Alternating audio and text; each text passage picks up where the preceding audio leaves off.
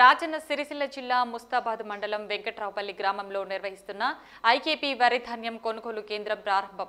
ఇరవై ఐదు రోజులు గడుస్తున్నా ఇప్పటికీ సిబ్బంది అధికారుల నిర్లక్ష్యం వల్ల ఇప్పటి వరకు ధాన్యం కొనుగోలు కావడం లేదని రైతులు ఆవేదన వ్యక్తం చేశారు. దీనికి నిరసనగా సిద్దిపేట ప్రధాన రహదారిపై రైతులు బైఠాయించి రెండు గంటల పాటు ధర్నా నిరసన కార్యక్రమం చేపట్టారు.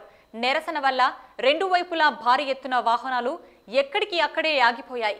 ఒక దశలో కొనుగోలు కేంద్రాల నిర్లక్ష్యాన్ని నిరసిస్తూ వరి ధాన్యానికి నిప్పు పెట్టారు. అనంతరం రైతులు మాట్లాడుతూ రైస్ మిల్లర్లు నలభై కిలోల వరి ధాన్యం బస్తాకు రెండు కిలోల తరుగు చూపుతున్నారని నిర్వాహకులు కూడా దీనిపై ఎలాంటి చర్యలు తీసుకోకుండా రైతులను మోసానికి గురి చేస్తున్నారని పేర్కొన్నారు.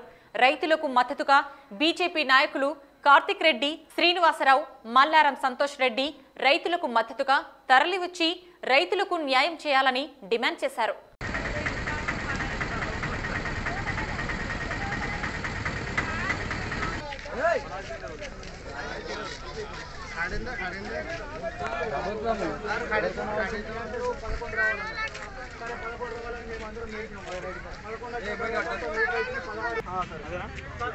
సార్ సార్ సార్ మీరు అంతలే సార్ అలా అక్కడ. తీసేస్తా నేను చెప్తాను కదా. దానివల్ల ఇప్పుడు నష్టమే ముందు వాళ్ళకి కొనే కొంటాను మొక్క అవుతుంది అంటే దాన్ని ఏం చేస్తాం?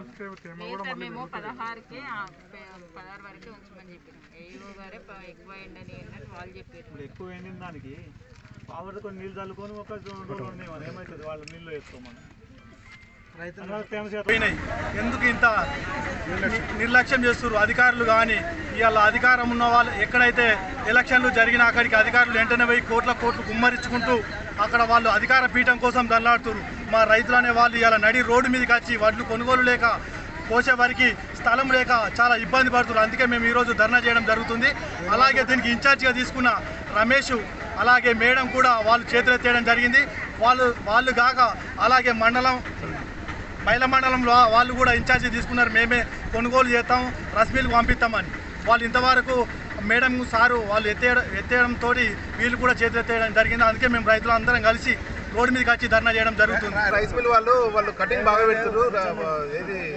వడ్ల మీద తరుగు ఎంత? రెండు కిలోలో మూడు కిలోలో తెలియదు అది పొల్లు ఉన్నది అంటారు మంచి ఎండినే పదకొండు పన్నెండు మ్యాచరైజర్ వచ్చింది. ఆయన కటింగ్ అని చెప్పి ఏవో మేడం వాళ్ళు వచ్చి ఇలా కటింగ్ అని అది చేసిపోయారు మేము కొనము మాకు అవసరం లేదు. మీరు ఏం చేసుకుంటూ వేసుకోపోయినా చేతులు ఎత్తేసారు